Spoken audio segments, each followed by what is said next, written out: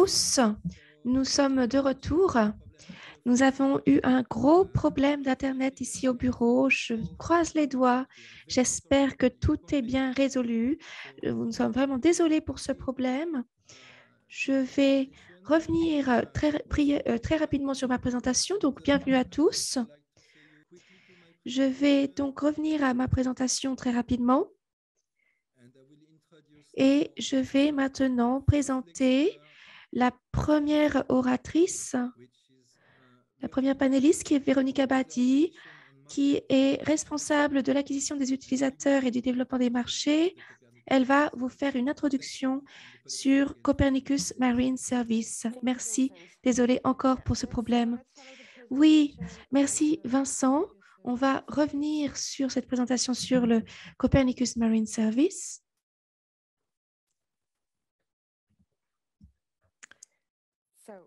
Donc, comme je l'ai dit, il y a sept ans, la Commission européenne a lancé le programme Copernicus. L'objectif de ce programme était de développer, de mettre en œuvre une, un programme d'observation de, de, la Terre pour l'Europe qui est basé sur les observations in situ et les données des satellites. Donc, euh, des entités différentes entités sont, euh, sont chargées de la diffusion de ces données pour donner un accès ouvert à, euh, ces données d'observation terrestre. Pour diffuser ces euh, informations sur l'océan, le Copernicus Marine Service gère un réseau de produits donc différents types de services comme des centres de prévision marine, et donc, le, Copernicus Marine Service est un des services qui est mis en œuvre par Mercator Océan International, qui est une entreprise basée à Toulouse, une multinationale avec euh, un actionnariat multinational, une équipe de 80 personnes. Nous sommes constitués de différents scientifiques et nous développons euh, des modèles en 3D de l'océan ainsi que des modèles de prévision euh, marine. Année après année, euh, nous sommes de plus en plus reconnus pour notre expertise mondiale dans l'océanographie et dans notre faculté de réanalyse. Pour surveiller l'océan, nous étudions différentes variables euh, qui sont divisés en deux catégories. Donc, euh, l'océan bleu, l'océan donc l'océan bleu qui euh, surveille tout ce qui concerne les paramètres physiques de l'océan. L'océan blanc, ce sont les paramètres de la glace de mer. Et l'océan vert, tout ce qui est géochimique. On peut le voir, voir tout ça sur notre site Internet. Donc, il faut aussi se souvenir qu'il y a un, point d'accès unique pour ces informations. Donc, notre site internet marine.copernicus.eu, avec un simple enregistrement, on peut accéder à ce catalogue de produits qui est gratuit. Nos données sont euh, toutes validées scientifiquement et qualifiées. Nous voulons harmoniser toutes ces données. Donc, nous avons le même format un format commun pour toutes nos données. Et nous avons également une approche basée sur les utilisateurs parce que nous voyons bien que euh, c'est important d'avoir un retour. N'hésitez pas à nous donner vos retours après la fin de cette présentation. Donc, en ce qui concerne les produits sur l'océan, le service Copernicus euh, offre différents types de données euh, avec différents types de sources, les euh, données de modélisation, les données in situ, les données de satellites, avec des réanalyses sur 25 ans, des données en temps réel et aussi des prévisions à 5 ou 10 jours. Grâce à ces données, donc, le catalogue des données du Copernicus Marine Service euh, parle aussi, mentionne les besoins des utilisateurs. Nous avons euh, de nombreux types d'utilisateurs qui suivent nos données. Ensuite, euh, en dehors de, de ces données sur les océans, nous avons aussi un rapport sur les océans, le, le Ocean State Report, le rapport sur l'état des océans qui donne donc euh, un aperçu euh, de l'état actuel des conditions des océans au niveau global, au niveau régional. C'est un rapport qui est publié chaque année et nous avons aussi un résumé de ce rapport qui, euh, est, agit comme qui est une référence pour les communautés, pour les décisionnaires et pour le public en général pour euh, tout ce qui concerne le, changement climatique, euh, les, changements euh, au niveau des océans. Vous pouvez aussi télécharger ce résumé depuis notre site Internet. Il y a de nombreuses variables et de nombreux indicateurs, des indicateurs de suivi des océans. Il y a des, variables clés utilisées pour vraiment vérifier les, les changements des océans. Ces données sont euh, gratuites. Elles sont accessibles depuis notre site Internet et elles couvrent les 25 dernières années. Nous offrons aussi différents types de visualisation des océans, de différents types d'outils permettant de visualiser les océans, donc avec différents types de niveaux, que ce soit au niveau débutant ou au niveau expert.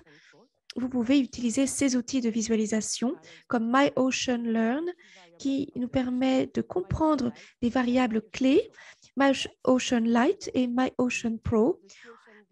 Ma collègue va vous euh, présenter ces outils de visualisation dans les détails. Non, ce ne sera pas à 9h30, ce sera plus 10h, euh, 10h30 euh, heure britannique, donc 11h30 heure française. Donc là, on parle des données, Là, on parle des marchés bleus, des marchés de l'océan en, dehors du, du, rapport sur l'état de l'océan. Le Copernicus Marine Service soutient tous les secteurs de l'économie bleue. Il y a 12 marchés qui sont regroupés d'après les trois piliers euh, des ODD, des objectifs de développement durable des Nations Unies, euh, autour des objectifs sociétaux, économiques et environnementaux. Vous avez aussi euh, sur notre site Internet des contenus spécifiques qui détaillent l'utilité des données. Après la pause café, nous allons avoir plusieurs témoignages d'utilisateurs. Si vous êtes un utilisateur du Copernicus Marine Service, n'hésitez pas à aller voir, à aller euh, consulter les cas d'utilisation, les, les cas d'utilisation qui se trouvent sur notre site Internet et n'hésitez pas à aller voir aussi nos réseaux sociaux. Liliane va vous présenter plus en détail ces, euh, ces cas d'usage. Nous fournissons également des matériaux e-learning, des webinaires, des, des ateliers euh, de formation, la possibilité de participer à, des MOOC, à des formations en ligne. N'hésitez pas à aller consulter toute cette information sur notre site Internet. J'espère que vous avez apprécié cette courte présentation sur le Copernicus Marine Service. Merci de rester en contact grâce à nos réseaux sociaux pour être informé de nos événements, de nos formations. Vous pouvez aussi rejoindre notre communauté euh, sur Twitter, donc n'hésitez pas toutes nos vidéos sont aussi euh, disponibles sur notre chaîne YouTube. Vous pouvez aussi vous enregistrer et euh, vous enregistrer pour la newsletter trimestrielle. Je vous remercie de votre attention. Merci beaucoup, euh, Véro. C'était une très bonne introduction du Copernicus Marine Service. Je vais vous euh, rappelez qu'il y a un, symbole Q&A, euh, questions-réponses dans le bar Zoom. Donc, n'hésitez pas à taper, à saisir vos questions euh, dans cette barre. Merci beaucoup. Jordan, User Support Manager. maintenant, je vais donner la parole à Cédric Jordan, Mercator Océan International. Et donc, nous allons voir ensemble le site web et tout ce qui est nécessaire au niveau des données. Merci Cédric, tu as la parole. Bonjour à tous, je suis Cédric de CMS, Copernicus Marine Service, et je vais vous donner un aperçu de tout ce qui concerne le site web et en particulier tout ce qui est lié au euh, côté utilisateur. Et je, peux, je pense que vous voyez mon écran, n'est-ce pas? Et la page principale du site web, tout à fait. Merci Vincent. Alors, pour pouvoir rejoindre ce lien ici, donc User Corner, vous pouvez cliquer sur cette icône et ici, vous aurez justement toute une série de sessions. Et la première à visiter, c'est la page de départ. Donc, comment entamer eh bien, ici, vous avez les différentes offres possibles, les données, l'expertise, le produit, tout ce qui concerne les tendances, les indicateurs aussi, et puis les outils de visualisation. Et en bas, nous avons eh bien, la possibilité de euh, devenir opérationnel avec nos données, avec nos services, et pouvoir finalement eh bien, euh, voilà, euh, rendre le tout visible. Alors, différentes sessions. Là aussi, recherche, visualisation, téléchargement des produits, être informé, apprendre et questions, et comment naturellement nous, contacter. Et euh, nous avons différentes vidéos également et des liens vers des articles. Hein. Donc, c'est très important au final de bien vérifier cette page-là, surtout si vous ne connaissez pas les produits et les services. Je reviens donc au User Corner maintenant. Deuxième section, c'est euh, tout ce qui concerne le centre d'aide, d'assistance. Alors, bien sûr, c'est aussi très important. Vous avez euh, différentes possibilités, des sections, sous-sections, où vous avez euh, toute une série d'articles, hein, une centaine d'articles pour vous aider, pour visualiser les informations, pour télécharger aussi des, questions les plus récurrentes. Bref, tout ce qui est euh, nécessaire est à votre portée ici, par exemple, tout ce qui concerne eh bien, la visualisation et toute l'élaboration des données. Et puis, par exemple, toute une série de sous-sections, comme je le disais. Voilà. Et donc, mettons que nous voulons utiliser, par exemple, euh, Python hein, pour euh, gérer euh, les données. Alors, voilà. Alors, ceci. Vous allez trouver des articles hein, et des vidéos, des captures d'écran, des infos nécessaires par rapport à ce sujet. Alors, bon, aussi, vous pouvez, comme je le disais, faire une recherche spécifique d'un article avec un mot-clé. Par exemple, on va mettre informé. Ici, comme vous le voyez, un article pour être, euh, être informé automatiquement des événements opérationnels sur les produits et les services, par exemple. Donc, plus tard, on reviendra sur les types de services que nous pouvons euh, avoir et offrir. En fait, ce centre d'assistance est très utile et euh, comme je le disais tout à l'heure, on a plus de 120 articles disponibles avec toute une série d'informations à la clé. Alors, nous avons une page dédiée, par exemple, à la liste, avec la liste des opérations, par exemple, amélioration, incident, maintenance, et ce, au niveau des services et produits. Vous pouvez sélectionner votre catégorie, supposons que ce soit justement les incidents. Euh, voilà. Et ici, vous pouvez filtrer avec euh, différents champs, production, mettons, euh, modèle numérique, région également, les paramètres le type de données. L'état également de l'événement en cours, prévu, euh, anomalie ou autre. Et puis, vous pouvez euh, aussi faire une recherche avec un mot-clé. Et euh, à ce stade, vous pouvez cliquer, c'est-à-dire, en fait, enregistrer votre feed RSS et être informé automatiquement à toutes les, avec toutes les, opportunités à la clé, les événements futurs dans ce cas. Et du coup, ici,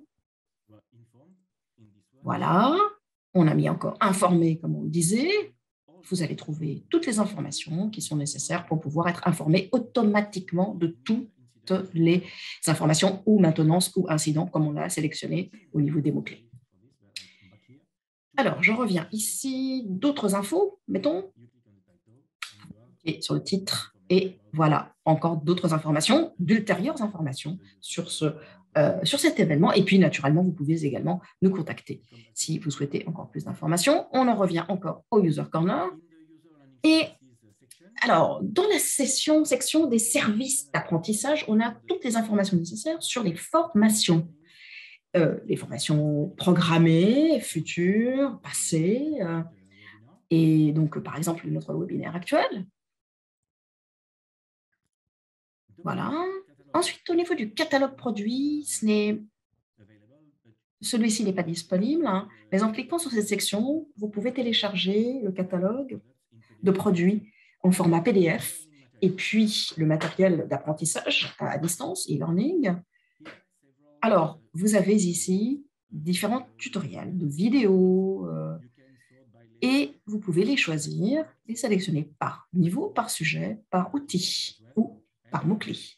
Et voilà beaucoup de matériel à, euh, disponible pour masteriser les services, les données. Maintenant, la qualité produit.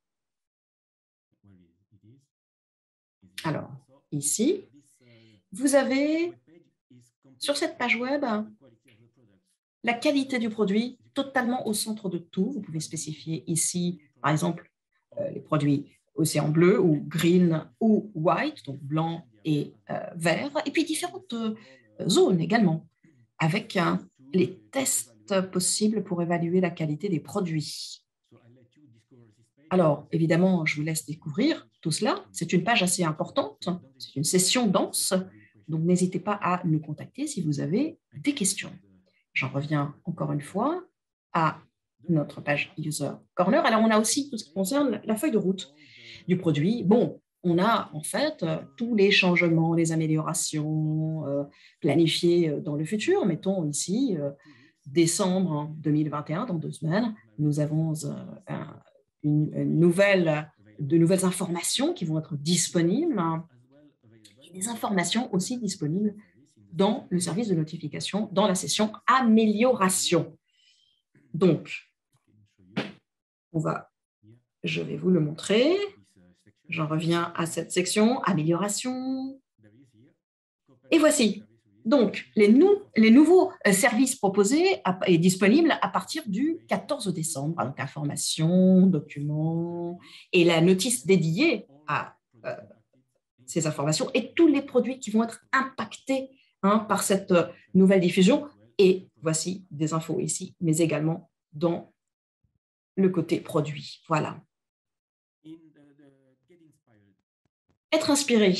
Dans cette section, bon, vous aurez plus d'infos avec Liliane sur ce point-là, mais beaucoup d'exemples de l'utilisation de nos données pour différentes applications. Et en fait, je ne vais pas en dire plus parce que euh, Liliane nous dévoilera tout ça plus tard. Ensuite, le forum de collaboration pour discuter avec les utilisateurs ou pour avoir aussi un support. Alors, comment ensuite s'enregistrer? Euh, Alors, pour télécharger les données, vous devez, être, euh, vous, vous devez vous enregistrer. Et c'est important, euh, évidemment, comme on le disait, le fait que la, la, la, donnée, les données sont totalement gratuites et donc il faut tout simplement remplir ce formulaire, nom, nom de famille, pays, mail, votre organisation, le nom et aussi le site web de votre organisation et choisir votre marché, le marché, donc les trois les, différents marchés. Ensuite, vous acceptez les conditions et les conditions et la politique de confidentialité. Vous créez ainsi votre compte et vous recevrez un mail pour confirmer votre adresse mail et pour confirmer votre, votre compte. Voilà. Donc, euh, voilà. Ensuite, l'activation est automatique et vous aurez la possibilité eh bien, de connaître ainsi nos produits parfaitement la, question, la, session de questions récurrentes et fréquentes, c'est euh, les questions générales ici qui sont au, concernées. Donc, pas de questions techniques. Hein. Ce ne sont pas euh, voilà, des, des questions spécifiques, mais générales. Ensuite, nous avons tout ce qui concerne les licences et les engagements de service. C'est un document qui a toute une liste de nos engagements avec les supports euh, globaux, l'utilisateur et aussi comment, euh, voilà, comment, si vous utilisez des données, eh bien, citer vos sources, c'est très important. Et donc, tout est bien expliqué dans ce document. Et puis, enfin, dernière partie, la partie contact. Et en cliquant ici, voici le formulaire que j'obtiens pour pouvoir expliquer euh, eh bien, le problème et aussi nous contacter euh, en utilisant du côté droit, en bas, en bas à droite, la, messagerie. Bon, la messagerie est en français puisque mon, navigateur est en français, mais vous pouvez nous envoyer donc un message dans votre langue, évidemment, et euh, il y aura euh, Elena, moi-même ou d'autres collègues qui peuvent y répondre. Et donc, n'hésitez pas à nous contacter. Et puis aussi, vous pouvez nous contacter via mail à cette adresse, servicedesk at CMS, SMS euh, at Mercator ocean.eu. Donc, en deux minutes, je vais vous montrer. Je suis en retard. Bon, mais j'ai quand même deux minutes en plus. Super. Alors, quel est le catalogue des produits? Alors, ici, sur la page d'accueil, hein, page principale, les produits océans, ou bien les données d'accès. Bon, mettons que je, que je clique sur produits et je vais avoir, eh bien voilà, toutes, euh, toutes les opportunités, donc le catalogue. Hein. Voilà. Ici, vous trouverez tous les produits océans disponibles, hein, donc 200 globalement, et vous avez une liste, en fait, euh, avec le titre du produit, l'identifiant, et puis les variables à l'intérieur, tout ce qui concerne également la résolution et euh, l'assimilation, le modèle d'assimilation. Alors, vous pouvez sélectionner, donc euh, voilà, le produit, et aussi faire une recherche par euh, zone, par mot-clé. Et ici, dans la partie recherche, vous pouvez télécharger le catalogue en format PDF, de même que les indicateurs. Mettons que j'aille du côté produit avec euh, les prévisions, voilà. Donc, la, page produit et information avec euh, euh, différentes opportunités. Alors, juste quelques secondes. Le temps que le système se charge. Non, alors il y a quelques soucis.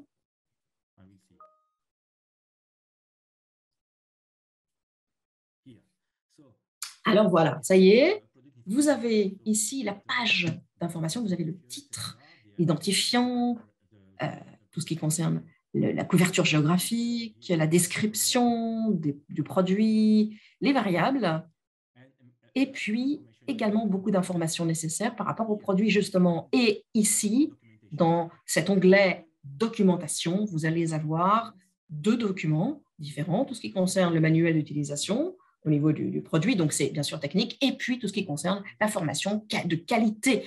Euh, donc, Ensuite, dans les services, c'est-à-dire comment vous pouvez euh, eh bien, avoir euh, les informations sur ce produit, donc euh, WMS, SUBS et ainsi de suite. Et là, vous aurez la possibilité de trouver les que vous avez besoin. Voilà. Et enfin, notification, vous aurez eh bien, les mêmes notifications que le service utilisateur, mais en revanche que sur cet aspect-là, produit. Donc, voilà, tout cela si j'ai besoin de ces données.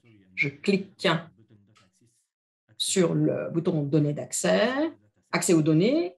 Euh, donc, pour chaque produit, attention, vous aurez donc différentes, différents choix. Mettons, voilà, la, prévision globale, les analyses. Et ensuite, vous aurez l'accès à vos besoins, c'est-à-dire vous allez définir vos besoins. Alors, mettons déjà la sous, sous-région. Alors, je vais mettre un donc nord-sud, est et ouest.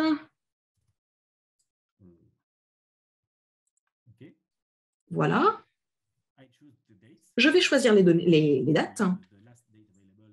Alors, la dernière date, le 9 décembre. Ensuite, tout ce qui concerne les profondeurs et puis les variables. Donc, ici, température seulement. Je vais choisir et sélectionner que la température. Et voilà. Du coup, vous pouvez utiliser euh, différentes possibilités, mais ici, vous pouvez euh, voilà, nous contacter aussi dans ce cadre. Les processus. Hein. Donc voilà, le téléchargement est en cours, il est prêt. Le fichier va être installé dans mon, sur mon ordi. Alors, voilà, on peut avoir des informations aussi du data center. Donc, je vais ouvrir les détails. Le fichier a été téléchargé, le voilà. J'ai toutes les informations et les données et par exemple, ici, la température, je vais cliquer dessus, voilà, la géoréférence, les données à la clé, et puis, et voici. Voici, donc vous voyez, c'est vraiment simple. En sélectionnant toutes ces données, vous pouvez évidemment tout modifier, et cela est simple et rapide. Voilà, j'en ai terminé. N'hésitez pas à nous contacter hein, via aussi la, messagerie ou bien euh, via mail. Donc, euh, n'hésitez pas. Merci infiniment de votre attention.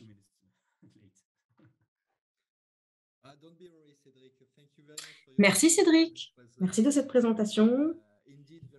Je pense que cela a été très global, très clair. Comme Cédric le disait, vous avez euh, vraiment quelque chose de euh, ce user corner qui est très euh, important avec un support en live aussi pour euh, bah voilà, vous suivre dans l'évaluation des données. N'hésitez pas à les utiliser. Merci Cédric. Merci à toi et bonne journée. Je vais maintenant céder la parole à Babette Chonong, euh, qui s'occupe donc d'océanographie et elle va nous parler de tout ce qui concerne la visualisation et des outils à la clé pour, et, et lié à cela qui s'appelle My Ocean River. Merci. Alors, je vais partager là mon écran.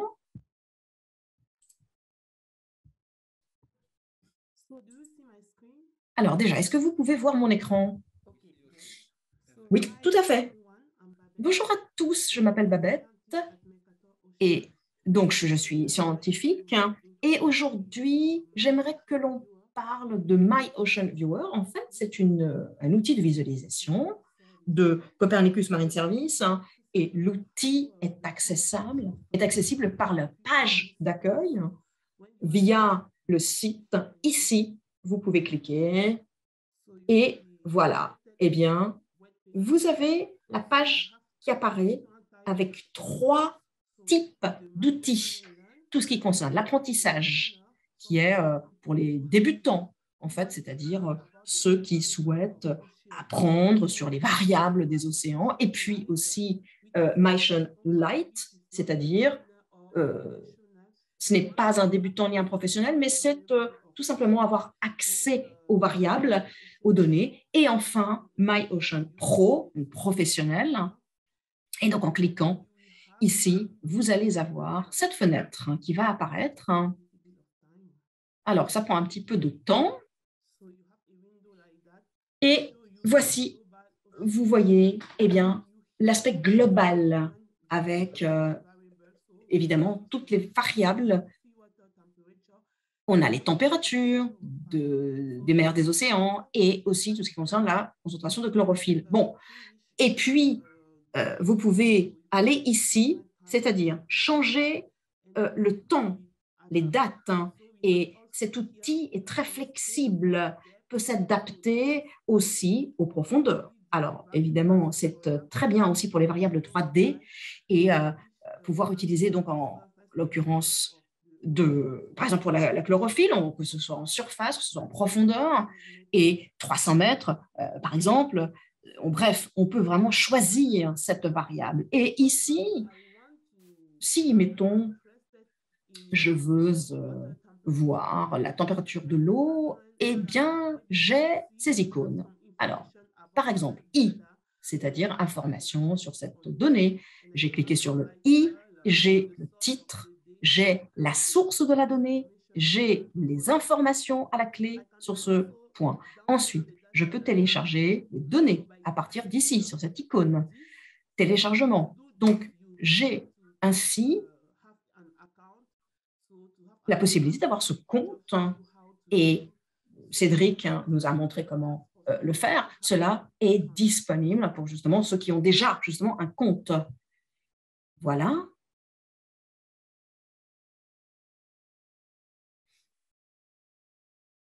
Alors, le micro de l'oratrice est en silencieux. Nous pouvons l'interpréter. Oui, toutes mes excuses. Alors, euh, je ne suis pas intéressée par rapport à la température de l'eau, mais pour, euh, on va dire, une autre variable physique, c'est-à-dire la surface de l'eau. Alors, on peut explorer là encore les différents euh, types de variables que nous avons et je peux choisir celle qui m'intéresse. Donc, voilà, cet outil est encore adaptatif, comme vous le voyez, selon ce que vous allez insérer. Et donc, là, en l'occurrence, la couche de chlorophylle. Euh, et donc, j'ai tout ce qui concerne l'adaptation aux données. Et ceci, on passe de moins 2 à 2 mètres. Et mettons que je veuille changer. Alors, je vais aller ici, je vais changer le moins 1 et le minimum, c'est-à-dire moins 1 et maximum, plus 1. Et du coup, l'outil va encore une fois s'adapter à ma recherche, à mes désidérateurs. Donc, c'est ainsi que l'on peut avoir, grâce à ce menu, eh bien, la possibilité de tout rechercher. Alors, au niveau de, la surface, au niveau euh, euh, des caractéristiques, hein, qui sont présentes, par exemple le Gulf Stream ici ou d'autres, selon les courants marins, et vous avez une échelle variable naturellement. Alors, mettons que je sois intéressé de variables ici. Le golfe de Guinée, je vais regarder un point spécifique ici, combien ça peut varier. Je vais euh, aller sur point ici cliquer, sélectionner ici, c'est ce point spécifique qui m'intéresse, et cet outil eh bien, me, me montre des scénarios. Voici les différents scénarios qui apparaissent. Et ici, non, ce n'est pas ce que je voulais. Alors, je vais déjà aussi enlever cette euh, info. Je vais cliquer là du coup. Voilà. Vous voyez, cet outil s'adapte, me montre les séries qui m'intéressent ici, sur ce point-là. Et donc, on voit les variables à ce point précis. Et cette ligne verticale nous montre le temps, là où, enfin, le temps actuel, le moment actuel. Vous voyez là, en faisant euh, changer la, barre, tout se modifie. Donc voilà, mettons que je suis, c'est bien, cela me convient, je vais télécharger ce point. Vous cliquez sur les trois petits points, export euh, et export des, échantillons vers CSV. Voici ce qui arrive, que ce soit avec Excel, par exemple, hein, eh bien, ou d'autres, vous pouvez télécharger ceci. Donc, maintenant, mettons que je m'intéresse aux euh, différentes lignes. Alors, pas de points, mais une ligne que je vais définir. Mettons celle-ci, voilà. Je la dessine, je clique sur ligne et voici, vous voyez, les variables qui vont apparaître. Et maintenant, mettons que je veuille regarder d'autres variables. Mettons que je vais changer, donc je vais ajouter une autre information. Alors, un mot-clé, un nom-clé, biologie, mettons. Alors, bio, bio, biochimie, biogéochimie. Alors, ajouter, voilà, je veux regarder euh, tous les champs euh, quotidiens. Alors voilà, je clique, j'ai des différentes options. Dans mon cas, je veux être, par exemple, regardez la concentration de nitrate dans l'eau, dans l'océan, voilà, je vais l'ajouter à ma carte, naturellement. Voilà. Parfait. Nous avons les nitrates qui apparaissent. Vous voyez? Alors, évidemment, je peux me concentrer sur l'un ou l'autre, ou, par exemple le cacher, comme je l'ai fait là. Hein. Et voici, mettons que voilà, j'ai les informations sur les données, le source de la donnée, encore une fois, où je peux les avoir, quel type de produit, à quel type de produit se réfère-t-il, et voilà, mettons que on va, ce qui m'intéresse, c'est vraiment la surface, donc zéro mètre, ben voilà, d'une euh, d'une autre façon maintenant, ça va s'adapter à cette demande. Et donc, euh, euh, grâce à cela, la profondeur, vous gérez tout cela. Vous voyez que c'est concentré sur cette région, la côte ouest africaine, mais également cette côte de l'Amérique du Sud. Donc, grâce à cette méthode, j'ai la possibilité de voir quel est l'aspect aussi. Alors, mettons que c'est ce point-là qui m'intéresse spécifiquement avec la donnée à la clé. Qu'est-ce que je vais faire? Je vais tout, du coup, réinsérer avec les différents types de données qui apparaissent, comme vous le voyez. Très bien.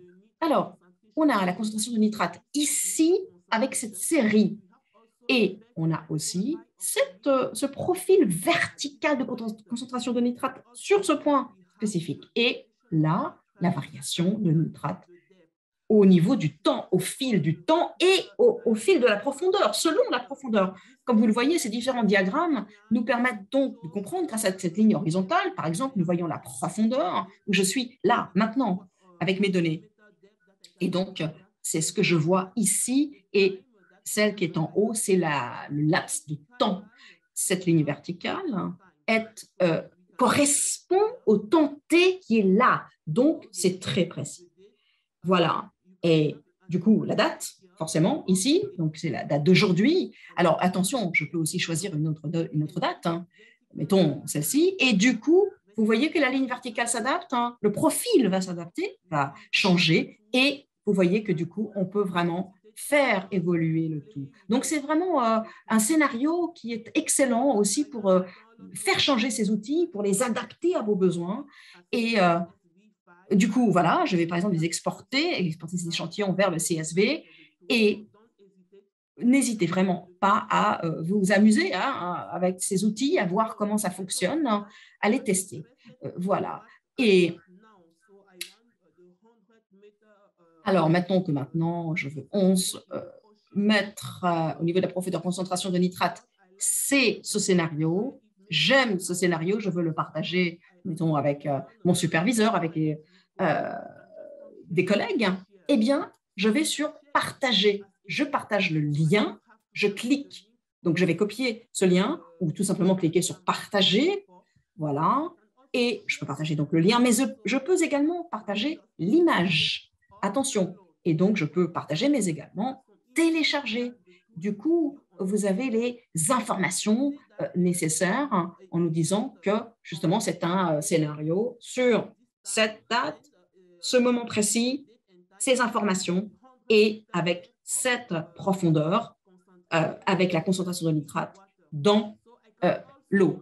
Donc voilà, et si je veux, mettons, télécharger une vidéo, même chose, je clique sur vidéo et cet outil, euh, pour avoir cet outil, il faut encore une fois créer votre compte. Voilà.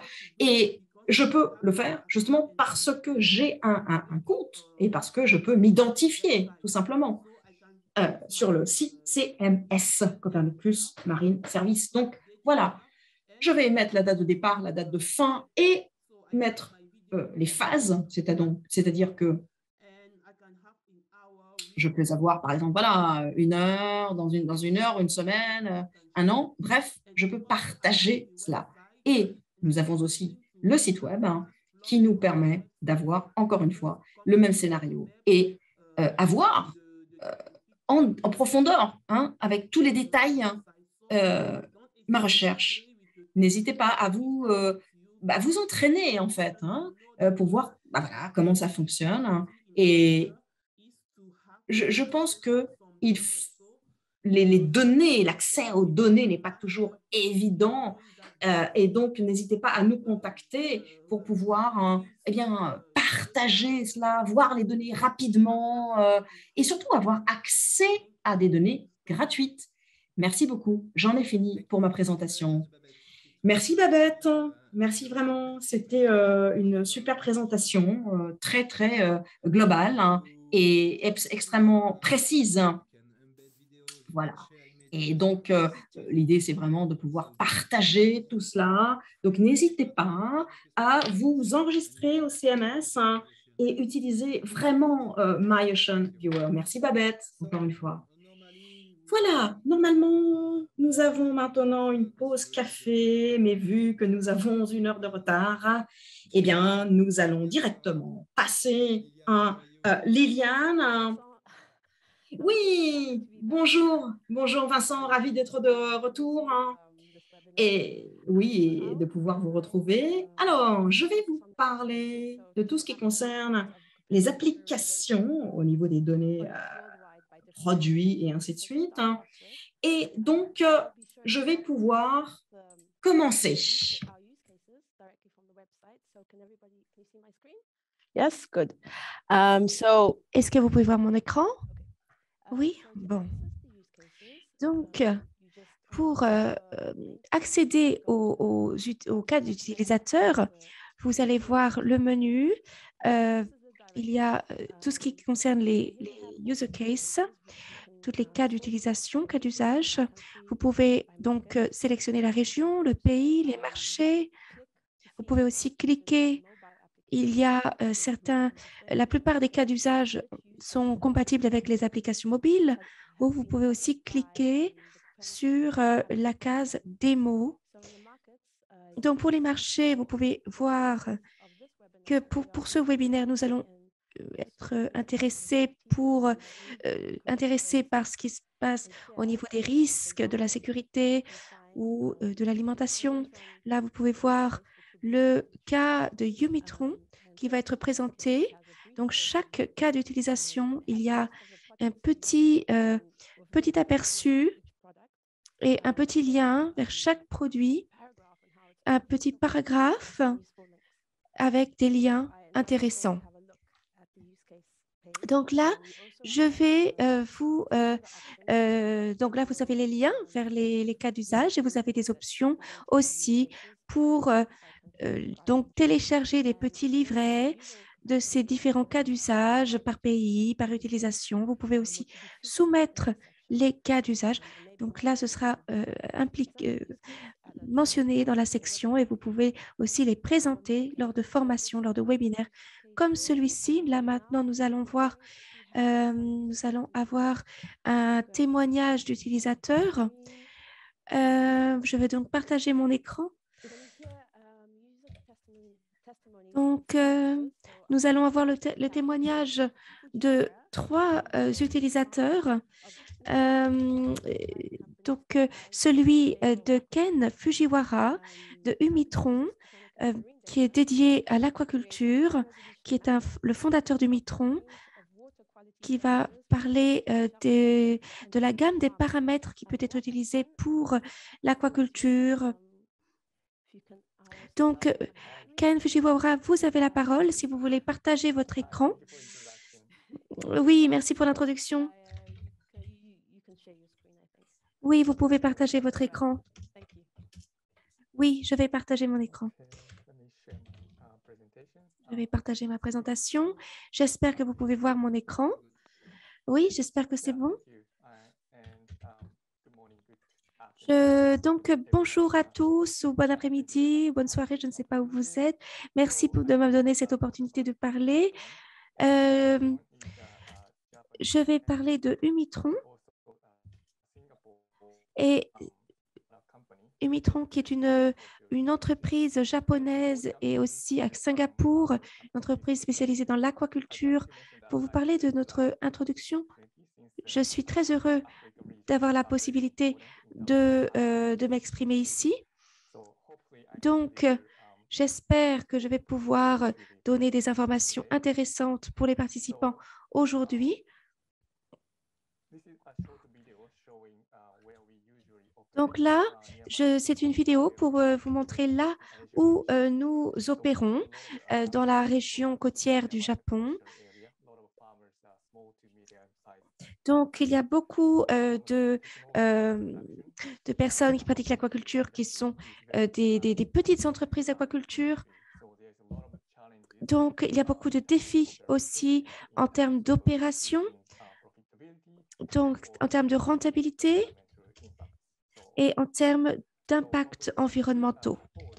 Ce que nous voulons faire, c'est nous pensons que l'aquaculture est une industrie importante. Comme vous voyez, la capture de, poissons a été stagnante au cours des dernières années, tandis que l'aquaculture est en pleine expansion. Et vous voyez que euh, aussi la consommation de poissons est en augmentation du fait de l'augmentation de la population. Donc, nous voulons soutenir l'aquaculture et maintenant et aussi à l'avenir.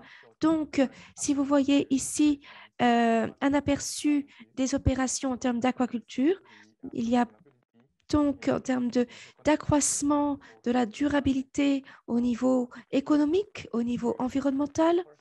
Donc, la première chose, c'est les risques, la réduction des risques. Les euh, personnes qui font de l'aquaculture sont soumises à des risques comme le changement climatique, comme la prolifération d'algues et comme la gestion des, maladies. Et bien sûr, au niveau économique, c'est important d'améliorer et d'accroître la production en termes d'aquaculture, euh, de, gérer les coûts, euh, les coûts des aliments pour les poissons. Et c'est important aussi de communiquer aux consommateurs, de, de communiquer l'importance de la traçabilité, l'importance d'avoir une approche durable et scientifique. Donc, c'est ça aussi que nous voulons faire avec cette approche sur le côté commercial.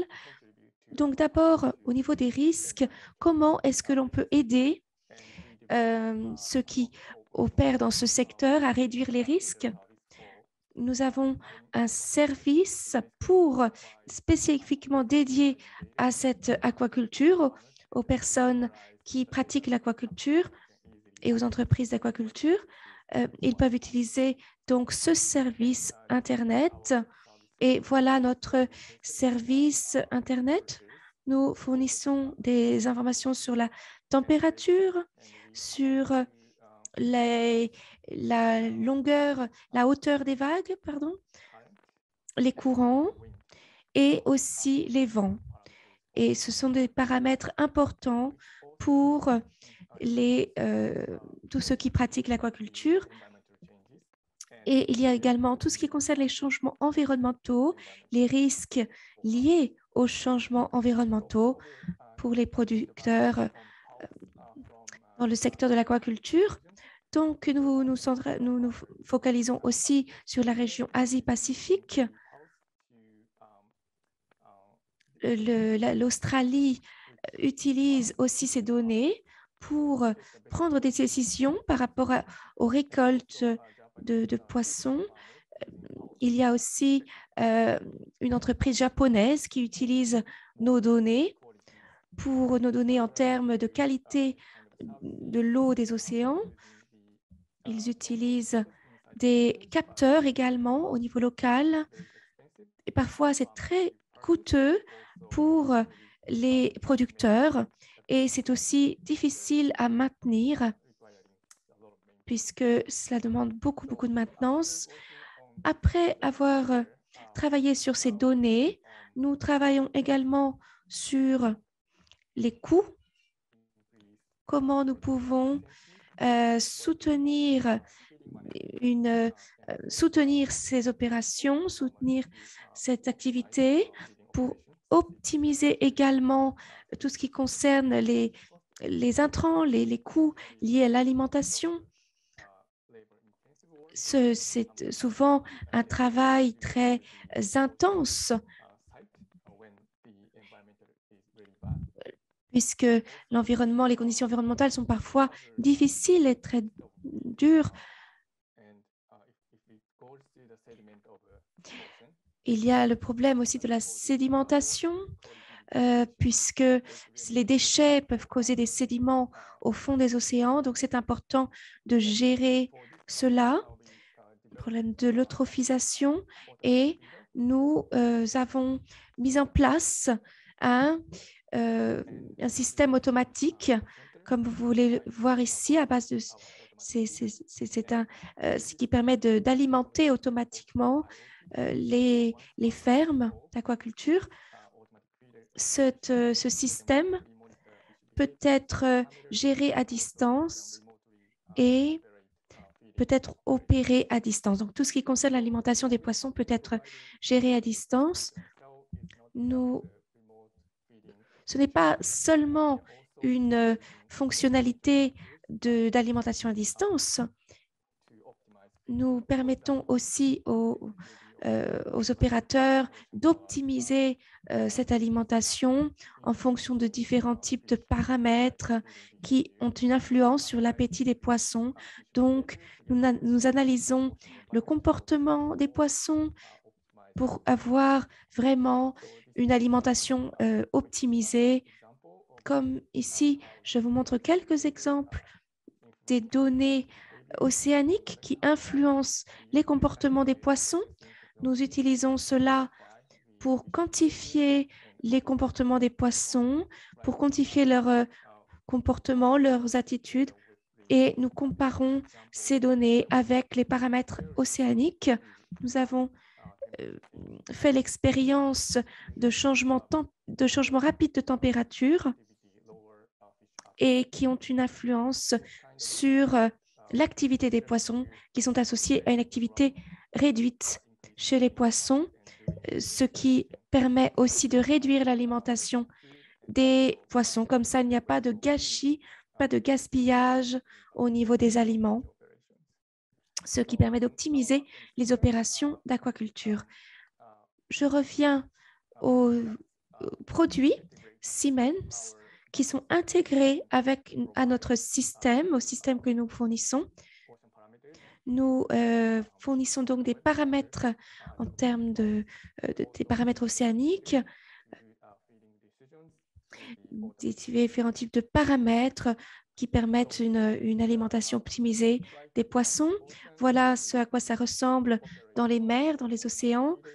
Nous avons donc ces systèmes d'alimentation automatique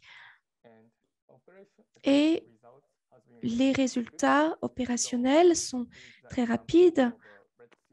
Là, euh, vous avez donc l'exemple de Red Sea Bream au Japon en termes d'utilisation de la nourriture. Nous avons amélioré le ratio de conversion de la nourriture. Donc, le, en fait, euh, la quantité de nourriture nécessaire pour avoir euh, la même euh, quantité de, de poissons et la période de croissance pour atteindre un kilo. Donc, nous avons pu accélérer la croissance des poissons en utilisant ce type de nourriture, ce type de système d'aliment- d'alimentation. Et nous travaillons également sur la communication, la communication en direction des consommateurs pour qu'ils puissent soutenir ces pratiques durables en matière d'aquaculture. Il y a différentes façons de com- communiquer avec les consommateurs.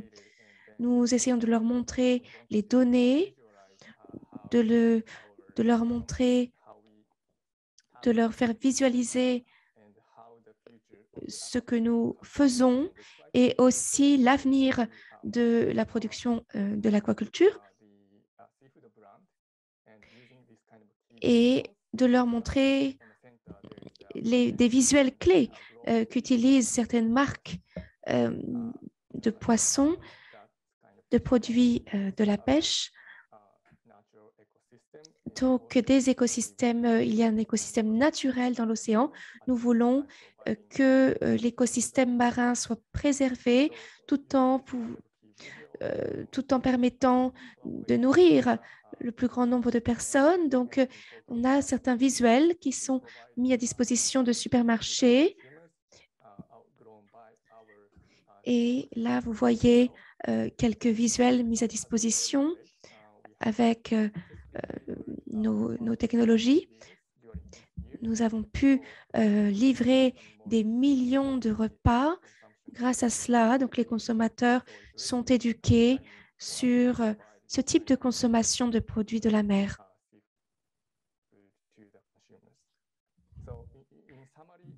Donc, pour résumer, nous pouvons utiliser des données marines, des données de prévision, des données océaniques euh, pour ce secteur de l'aquaculture. Cela a une contribution directe aussi pour les euh, données euh, sur les océans et cela apporte une valeur aux consommateurs. Cela a aussi un effet en ce qui concerne l'alimentation des poissons. Et nous voyons de plus en plus d'opportunités pour intégrer tous nos ensembles de données pour les opérations des, euh, des opérateurs qui travaillent dans l'aquaculture. Je vous remercie de cette opportunité de m'avoir laissé parler, de, m'avoir donné la parole. Si vous avez besoin de me contacter, je vous donne mon adresse email. Merci de me contacter par email. N'hésitez pas si vous avez des questions. Merci beaucoup, Ken. Merci euh, pour euh, cette, merci pour ces informations très intéressantes pour euh, que nous puissions soutenir l'aquaculture pour le secteur privé, c'est très important et cela pourra être euh, important pour euh, le marché africain également.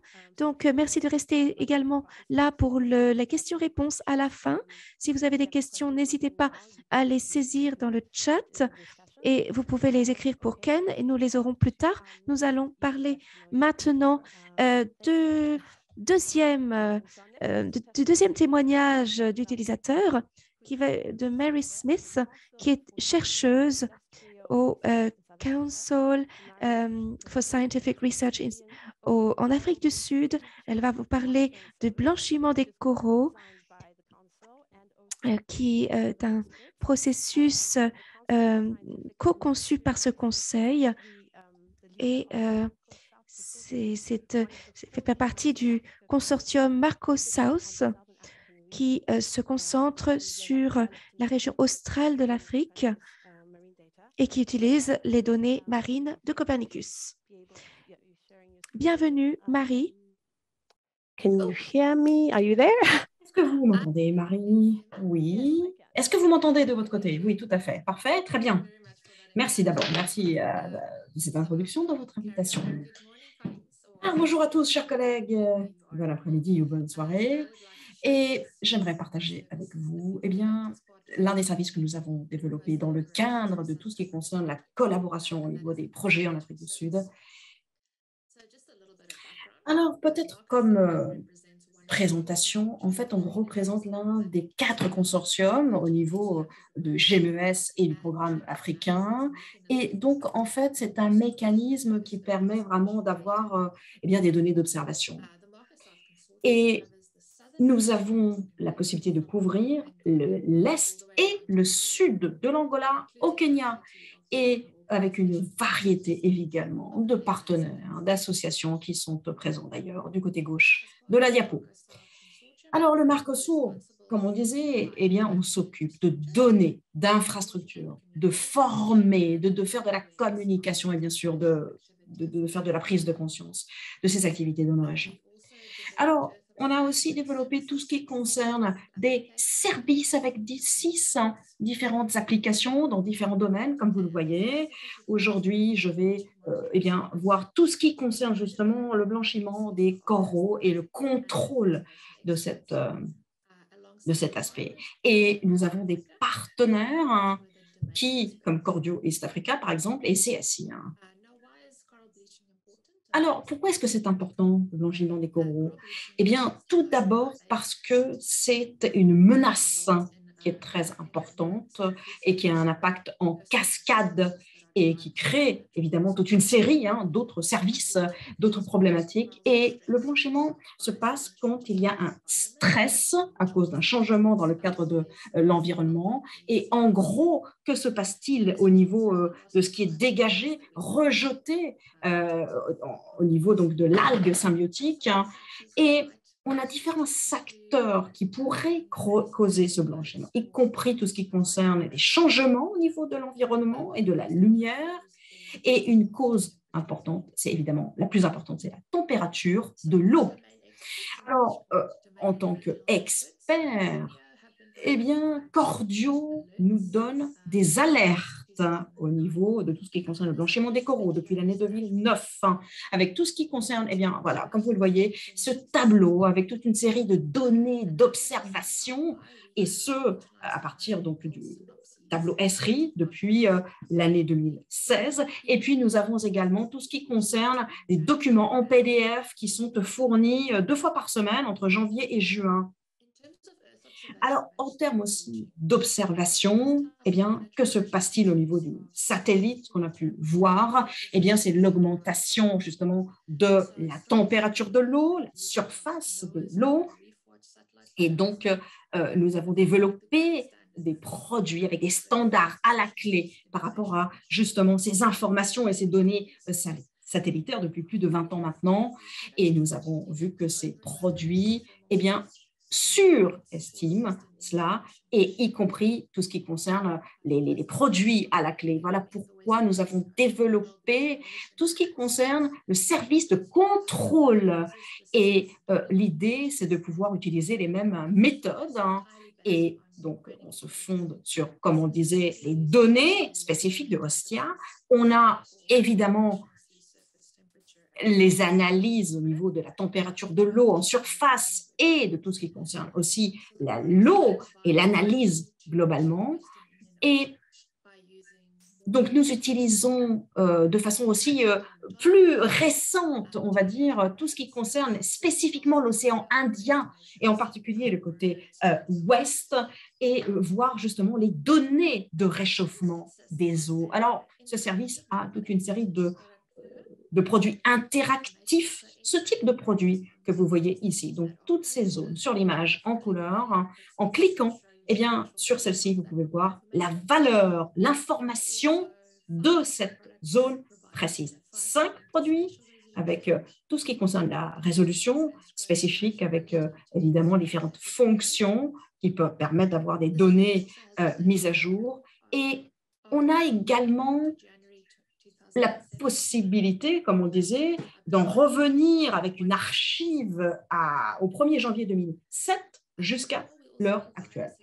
Et puis, nous avons également des stations virtuelles qui peuvent être sélectionnées, comme vous le voyez ici sur les petits points, sur la carte. Et là, on voit les données historiques, les statistiques par lieu et leur évolution évidemment sélectionner ces données et voir les périodes de temps qui vous intéressent. Alors, si vous souhaitez en savoir plus, vous pouvez euh, nous trouver dans exactement ce site web, le Copernicus Marine Service Use Case, en cliquant sur ce lien. Et euh, du coup, mais également Marquesur et Cordio et des informations également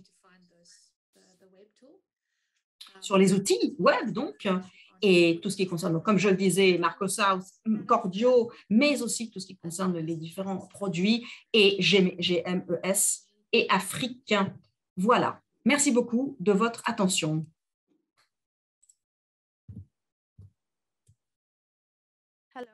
Sorry, I was trying to find my mic.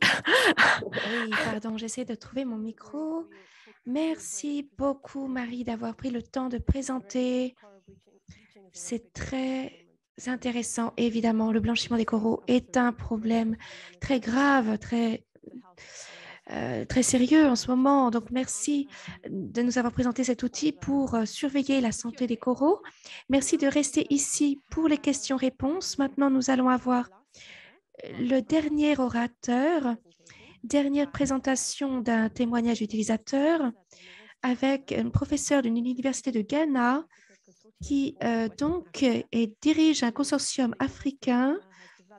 L'Université de Ghana a développé un service pour fournir des informations pour les pêcheurs sur la sécurité en mer et des services de prévision marine. Malheureusement, il n'est pas euh, à même de nous rejoindre aujourd'hui, mais il a fait une petite vidéo et je vais la retrouver. Je vais vous la partager dans un instant. Cette vidéo a été préparée pour une, euh, une équipe d'experts pour les systèmes d'observation de prévision marine. Il va vous parler de son utilisation des données de Copernicus Marine System, Marine Service, pardon. Je vais partager mon écran. J'ai oublié d'activer le son.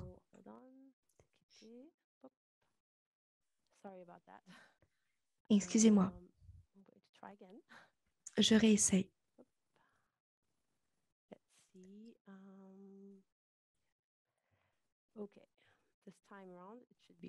Et voilà, je pense que maintenant ça va fonctionner. Pouvez-vous vous présenter, présenter votre parcours professionnel et votre travail actuel? Bonjour, je m'appelle Georges Viafé. Je suis professeur d'océanographie à l'Université du Ghana. je suis actuellement directeur du Centre maritime régional de l'Université du Ghana qui met en œuvre le programme GMES et Africa. GMES et Afrique.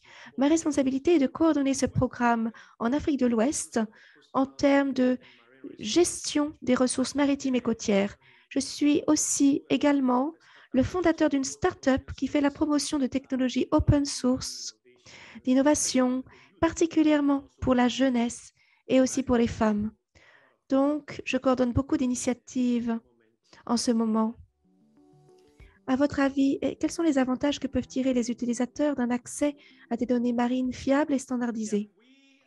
Oui, nous utilisons les ensembles de données de Copernicus auxquels nous accédons à travers notre système Unicast opérationnellement et ensuite nous ajoutons de la valeur à cela avec euh, la prévision des conditions océaniques, particulièrement pour les pêcheurs. Au Ghana, par exemple, il y a environ 12 000 canoës de pêche, des pirogues, et sur ces 12 000 canoës de pêche, il y a environ 25 personnes qui embarquent.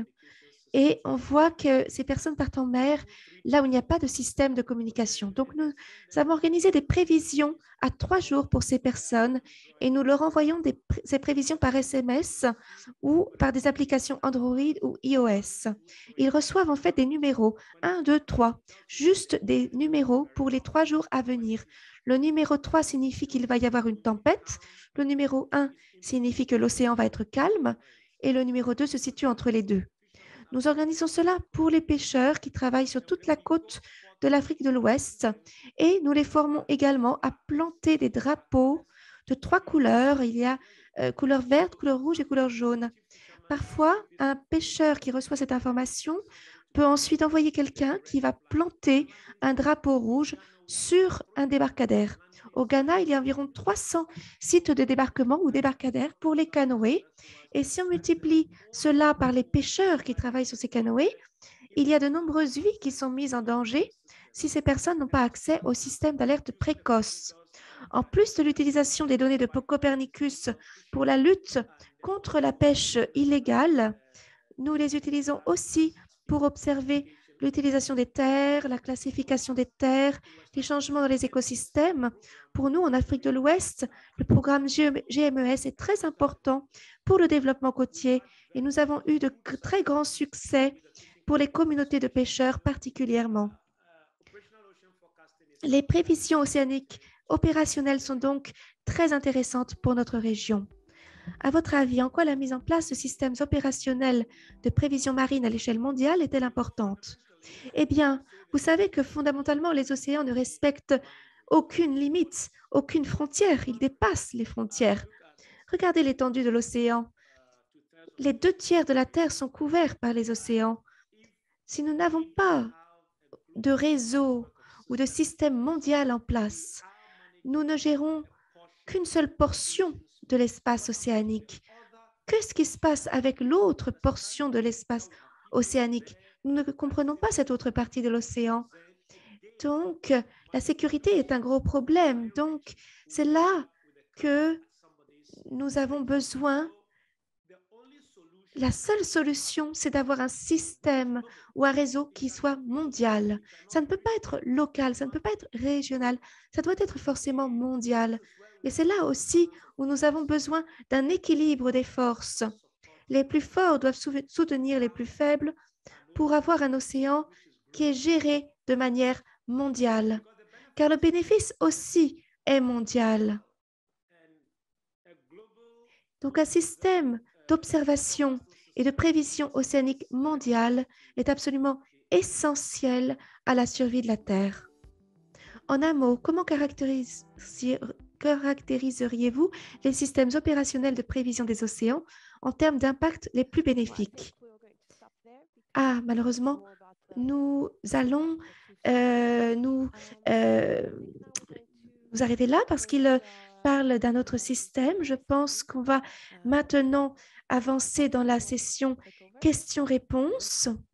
Vincent, est-ce que vous voulez reprendre Merci beaucoup pour ces témoignages d'utilisateurs. C'était un très bon exemple de ce que nous pouvons faire avec les données du Copernicus Marine Data.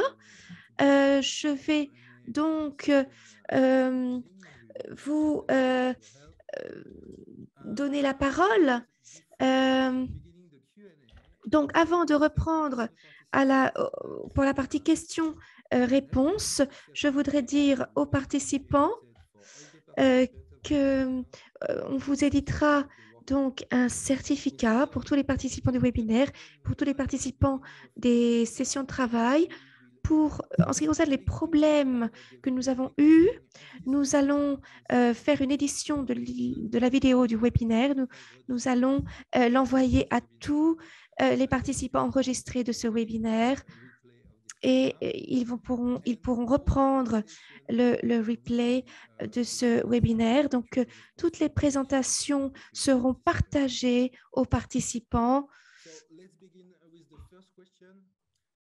On va commencer euh, donc euh, avec la première question de Malia Malek qui vient du Bangladesh.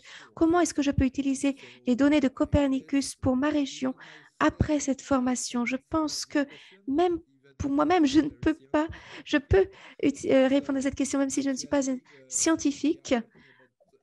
Aujourd'hui, nous parlons du portefeuille global de ce, portefeuille de données est, disponible pour l'océan Atlantique, l'océan Indien, l'océan Pacifique.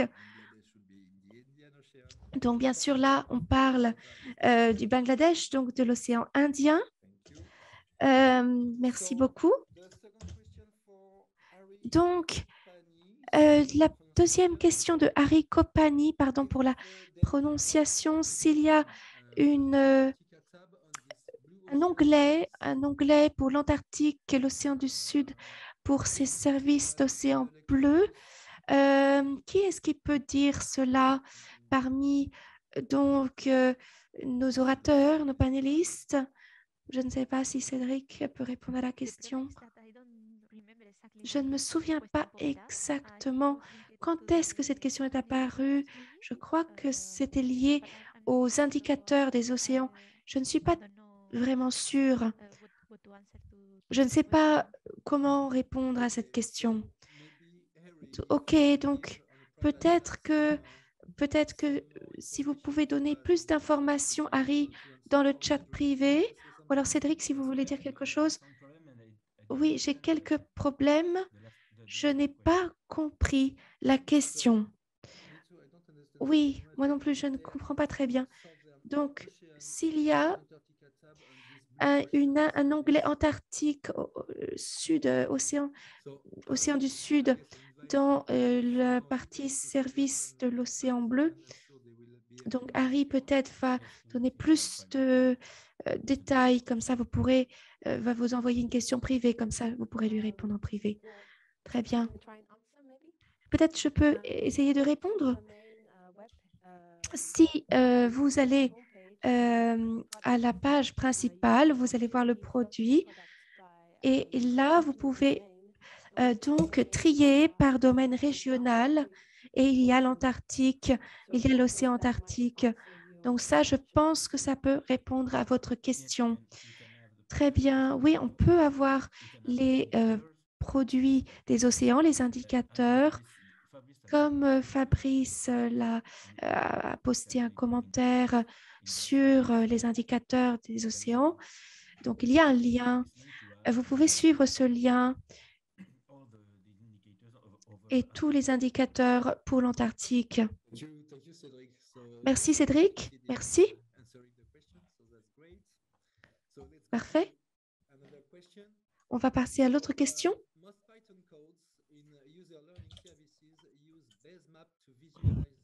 Donc.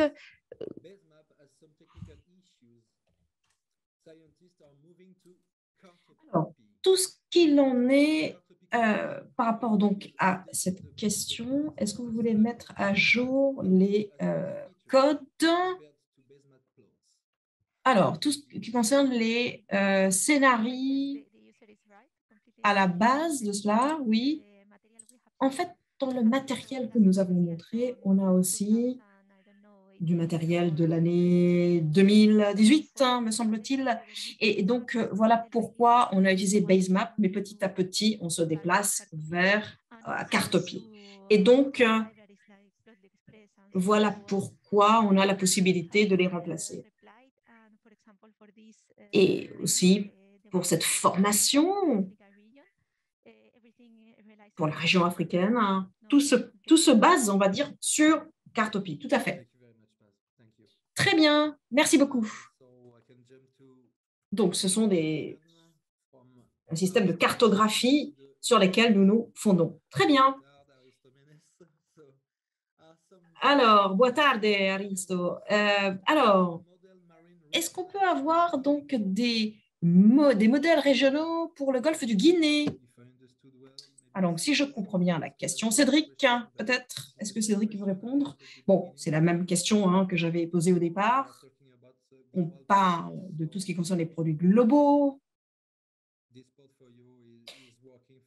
Et donc, cela devrait fonctionner aussi pour le golfe du Guinée? Oui, oui, tout à fait. Selon les régions, vous pouvez, comme je le disais tout à l'heure, avoir les coordonnées et les données du coup qui vont apparaître liées à cette euh, région. Oui, merci Babette. Et Cédric hein? Non, non, je ne souhaite rien ajouter. Tout est, tout est bon. Parfait. Merci. Alors, une autre question maintenant de Evie. Adigency Sujono. Donc, désolé euh, de mal prononcer votre nom. Alors, superbe présentation. Merci Cédric. Je voulais juste savoir au niveau de la résolution des données et l'erreur euh, du modèle. hein, Est-ce que vous pourriez le réexpliquer, s'il vous plaît, Cédric? Oui. En fait, j'avais répondu de façon privée avec un message privé. La résolution est disponible au niveau de la page du produit et des informations liées à ce, à ce produit. Et je vais vous le montrer là, si vous le voulez bien, directement. Alors, Roman, merci de bien vouloir cesser de partager euh, votre écran.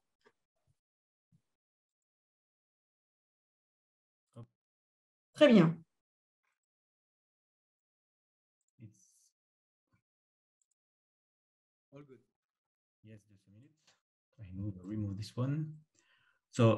Voilà, donc, en fait, vous voyez la résolution, elle est disponible là. Si vous parlez de, de ce produit-là, celui que je suis en train de montrer là sur l'écran, que j'ai présenté tout à l'heure en live, la résolution spéciale est ici. Et en cliquant sur cette page de produit, vous pouvez trouver les informations. Les résolutions spatiales, par exemple, vous avez les degrés et vous avez ici you have this re- special resolution.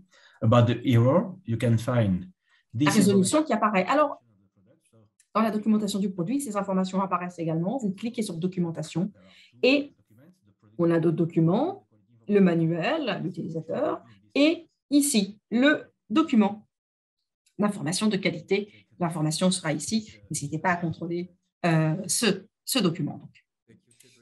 Oui, merci beaucoup. Roman, voulez-vous peut-être re- repartager votre écran pour la session de questions là? C'est une question pour Babette. hein. Alors, est-ce qu'on peut euh, sélectionner une euh, région? Oui, tout à fait. Alors, pour partager mon écran, je vais te laisser la main.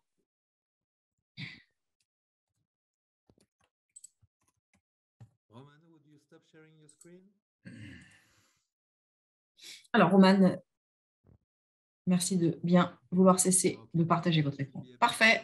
Voilà, Babette.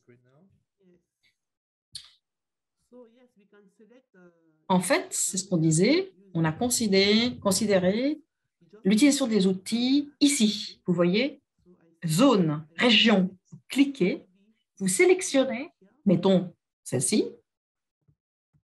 cette région. Voilà. Et quand c'est bon, je vais cliquer ici sur, hop, voici ce que nous avons. Donc, comme je le disais, on peut cliquer ici, si ça correspond à ce que l'on cherche, et on a toutes les données qui apparaissent. Et on peut télécharger, encore une fois, les données et exporter cet échantillon vers le CSV, si c'est bien cette zone en question qui vous intéresse. On peut zoomer, oui, tout à fait. Voilà, on peut zoomer, et oui, par exemple, voilà, tout à fait. Vous pouvez zo- zoomer quand vous le souhaitez. Euh, donc, tout à fait, on peut utiliser ces outils. Donc, et vous êtes très proche du golfe de Guinée, par ailleurs. Oui, tout à fait, qui est très prisé. Et oui, merci, merci de cette clarification. Alors, Roman, on va de nouveau revenir à votre diapo avec les questions. Alors, une autre question. Alors, il y a peu d'observations proches des côtes africaines. Est-ce que c'est possible d'ut- d'utiliser euh, Mercator pour réanalyser des produits pour des études sur la zone côtière, sur le littoral? Qui est-ce qui voudrait bien répondre à cette question? Yes, Cedric again. Oui, c'est Cédric. Alors, uh, question. Oui, c'est une question scientifique et donc on doit contacter les experts de ce produit-là. Donc je vous suggère hein, de nous envoyer un mail ou de nous contacter euh, via le formulaire ou la messagerie. Donc on va demander cela aux bonnes personnes. Tout à fait.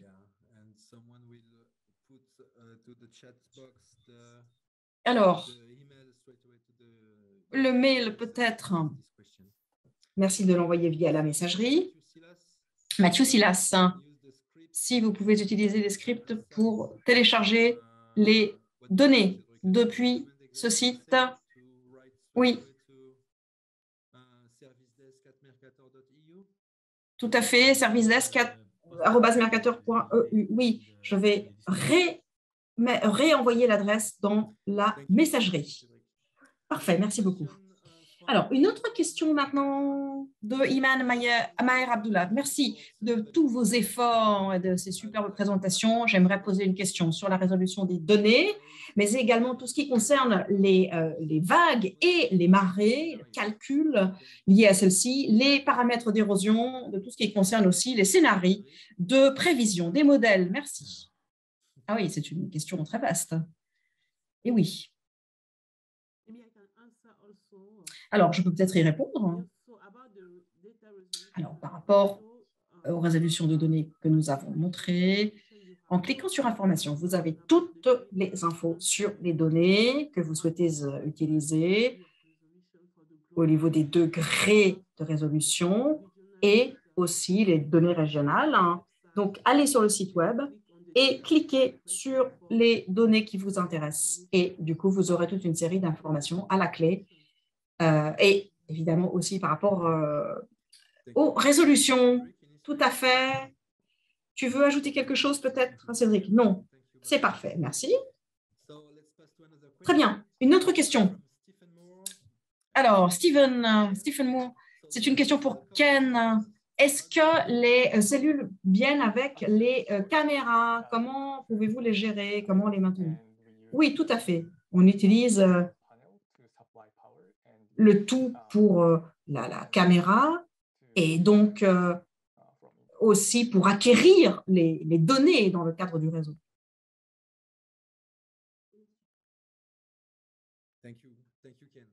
Oui, merci beaucoup.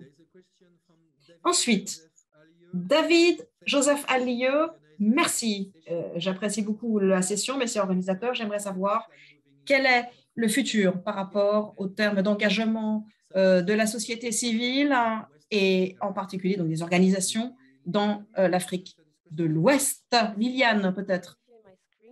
Oui, je vais partager mon écran maintenant.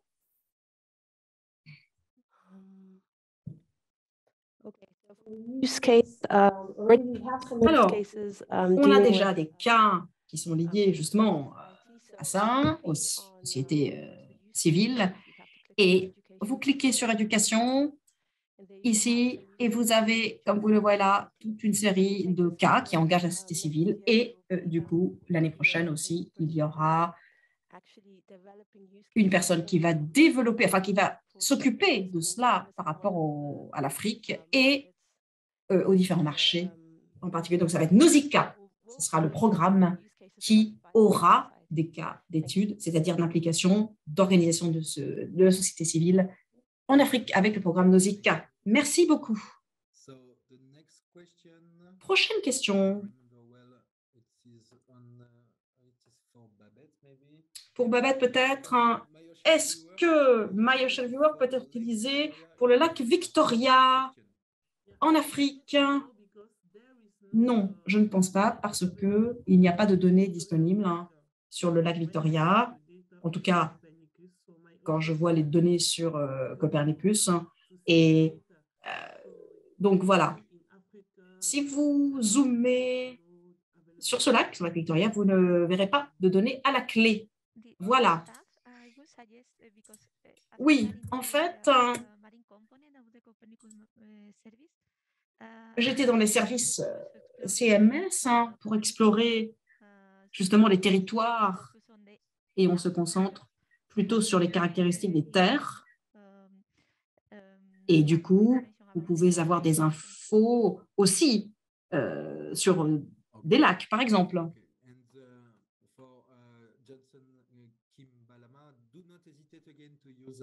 Donc, n'utilisez- n'hésitez pas à utiliser notre support utilisateur. Vous pouvez euh, directement leur envoyer un mail là, ou même il y a une messagerie euh, dédiée dans le site et ils sont très efficaces, très rapides et ils pourront de façon réactive revenir vers vous. Tout à fait.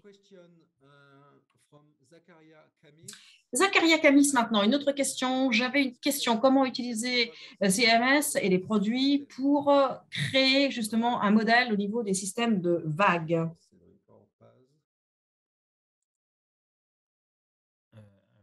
Alors, je ne suis pas sûre d'avoir compris. Dans le catalogue, en fait, vous avez euh, les produits. Alors, produits liés euh, à donc 001, 086, on a les prévisions au niveau des modèles d'ondes, de vagues. Donc, on a des informations à la clé. Je ne sais pas si c'était la question que, qui était posée. Voilà. Oui, Paz. Peut-être que la personne a un autre modèle. Enfin, en tout cas, peut-être pouvez-vous spécifier euh, la question?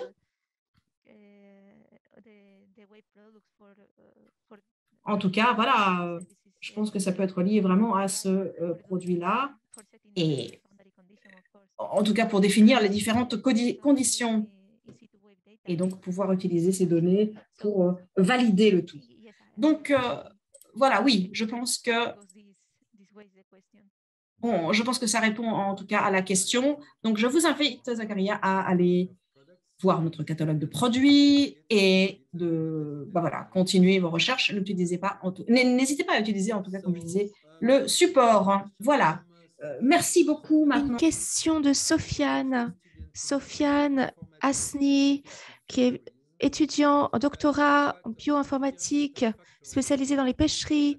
J'étudie l'impact des facteurs environnementaux sur les petits poissons pélagiques. J'utilise beaucoup le Copernicus Marine Service en tant que source de données environnementales. Je voudrais savoir s'il y a, y a un scénario RCP pour les paramètres futurs dans cette plateforme. Une question technique qui peut... Je ne sais pas ce que cette personne euh, veut dire avec RCP. Donc euh, là, c'est un problème pour moi. Oui, c'est ce que le, c'est ce que le l'UN, euh, la Convention cadre des Nations Unies pour les changements climatiques utilise pour ses prévisions. Donc c'est dans le dans le catalogue de produits. Peut-être Sofiane, si, vous êtes toujours là, n'hésitez pas à clarifier votre question. Et donc, on va avancer à l'autre question. C'est donc euh, la prochaine question de questions et réponses. Après, on fera une annonce des différents matériaux. Je demande, en ce qui concerne l'intensité des vagues des océans dans une petite île comme le Zanzibar.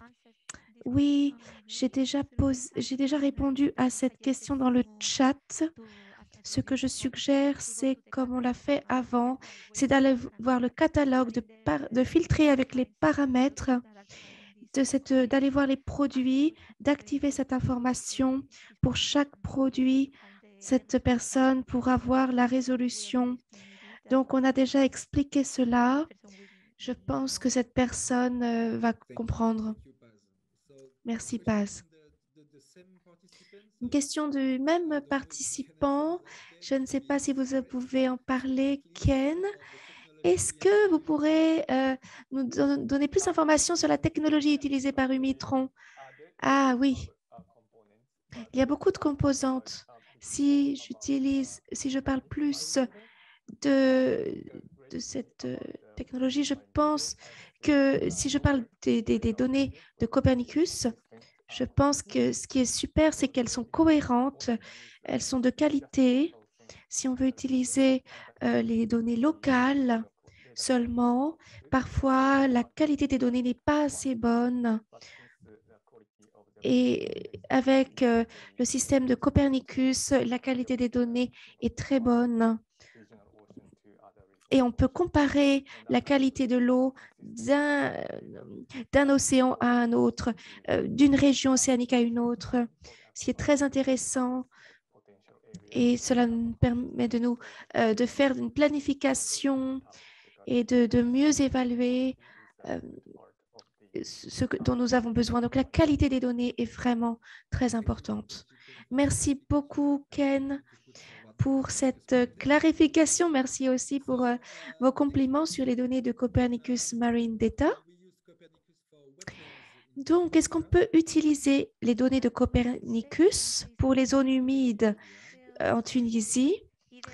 Je ne sais pas si c'est pareil que pour le lac Victoria. Si la zone humide est très proche de la côte, alors peut-être que Copernicus Marine Service pourra fournir des données, pourra évaluer cette zone. Si ce n'est pas proche de la côte, c'est peut-être mieux d'aller voir tout ce qui concerne les services sur les terres de Copernicus, les Copernicus Land Service.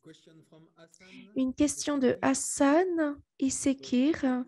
Est-ce que nous pouvons utiliser les données sur les océans de Mercator pour euh, le modèle trophique de l'écho, euh, euh, la voie écho, EcoPass Et, euh, C'est difficile de répondre à cette question. C'est une question scientifique. On va parler de cela la semaine prochaine pour la deuxième session Je crois que ce serait le 7 décembre. Ce type de question pourra être posé lors de cette session technique.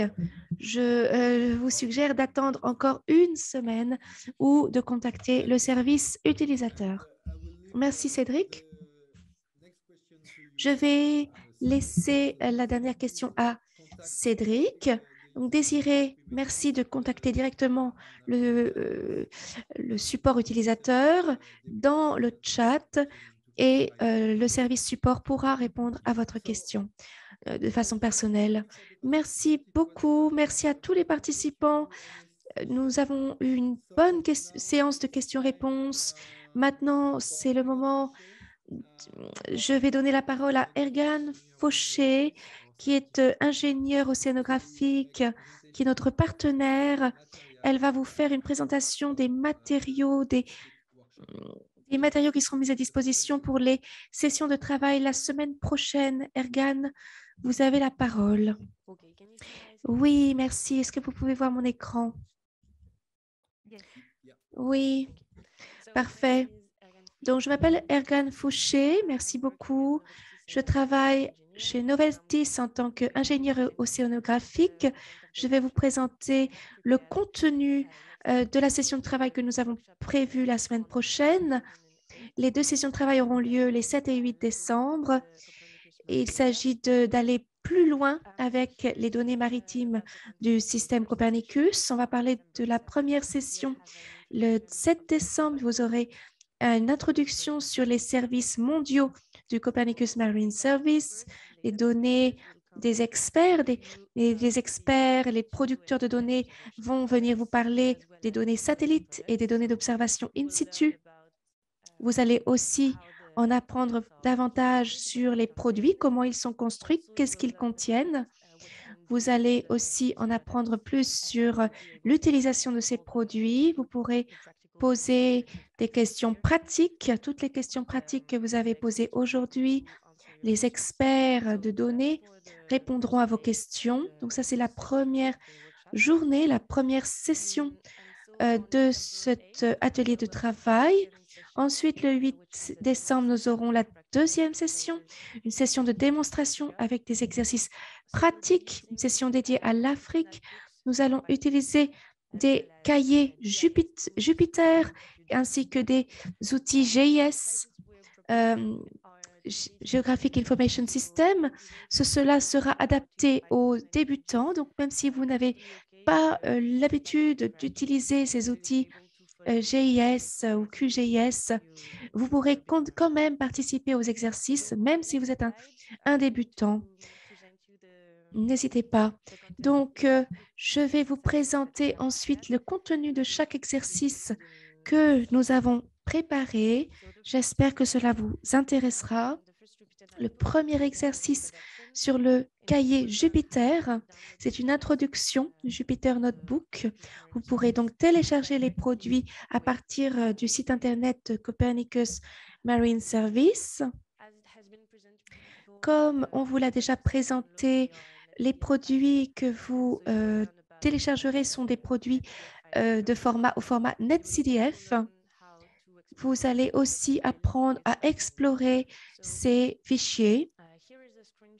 Voilà une euh, impression écran du, euh, du cahier Jupiter. Vous voyez donc ici du texte qui décrit l'exercice. Vous avez aussi les codes avec les cellules. Et ça, c'est euh, la description de l'exercice, comment le fonctionnement de l'exercice. Donc, ce serait intéressant euh, d'aller voir aussi les autres exercices euh, pour euh, les cahiers l'exercice de Jupiter. Ensuite, il y a un deuxième cahier Jupiter qui, avec des suivis de certains événements sur la côte d'Afrique, la, côte nord de l'Afrique de l'Ouest. On voit que ces événements ont pour origine le vent les coups de vent et vous verrez euh, les prévisions en matière de, de vent qui, nous viennent du système de données de Copernicus.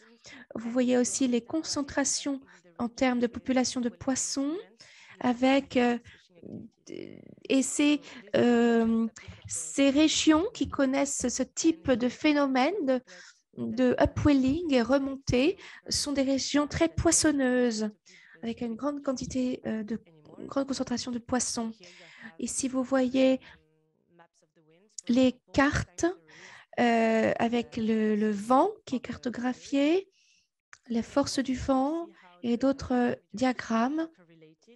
Vous voyez que différents paramètres sont corrélés, le temps, le vent, pardon, la température de surface, euh, les nitrates en surface, la chlorophylle en surface.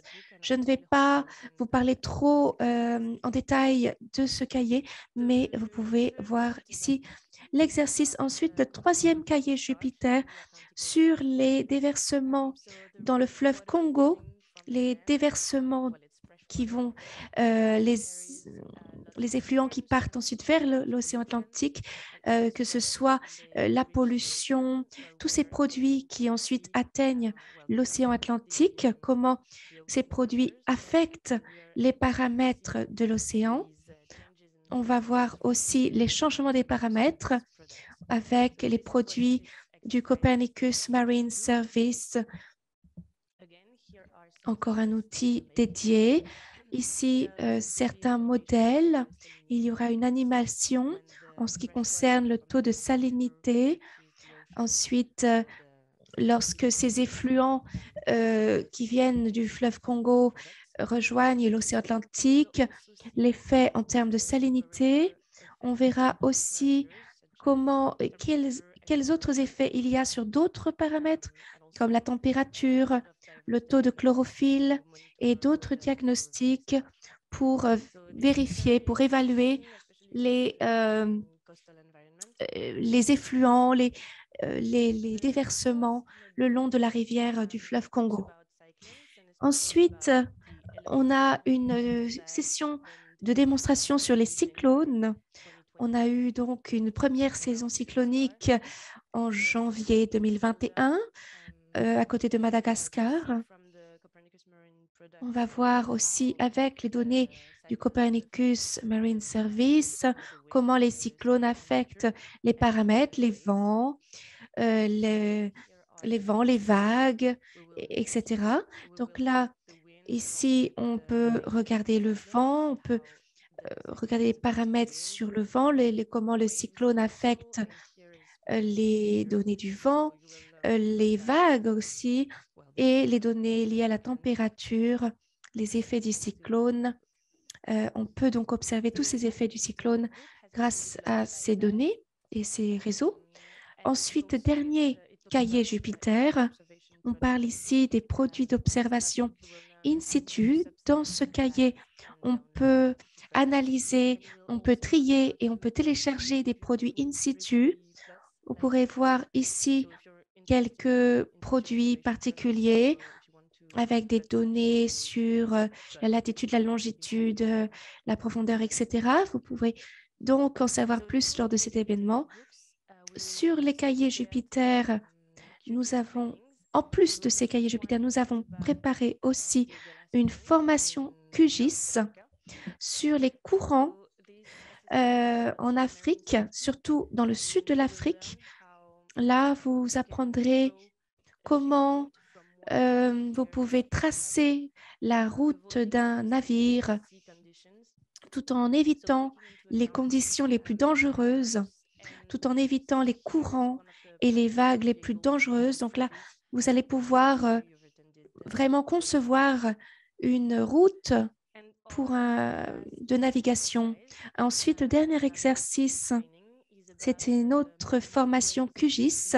C'est sur les, euh, cela porte sur les vagues de chaleur maritimes dans la mer Rouge. C'est une anomalie en termes de température de surface de la mer.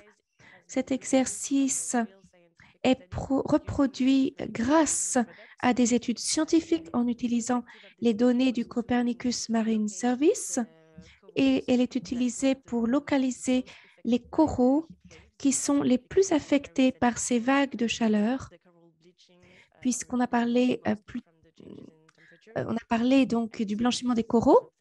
euh, qui est généralement due au changement de température.